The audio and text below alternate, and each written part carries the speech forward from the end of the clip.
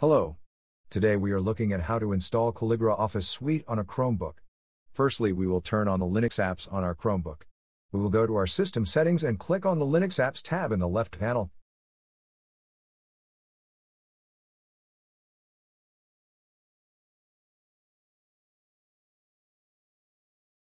Now we will turn on the Linux apps.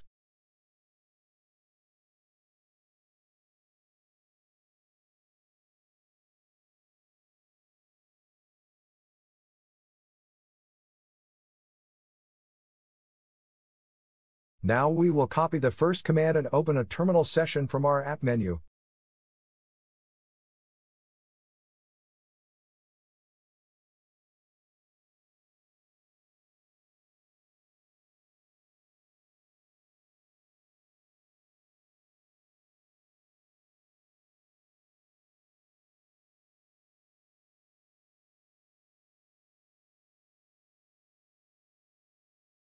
Next, we will paste the command into our terminal, either with a two-finger click on your terminal or click Ctrl, Shift and V together. This command will update our Linux app system repositories. This command should run automatically as soon as you paste it into a terminal session. Lastly, we install Calligra. We will copy the last command into our terminal.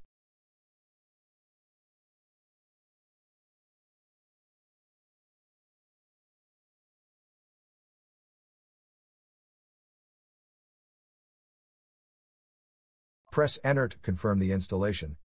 This is a long process so we are going to fast forward it.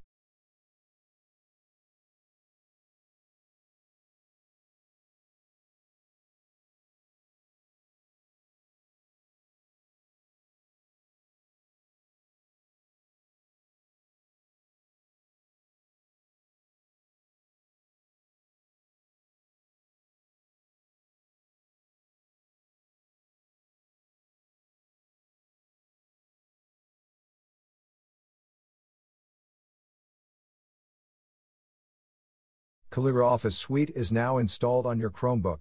Enjoy!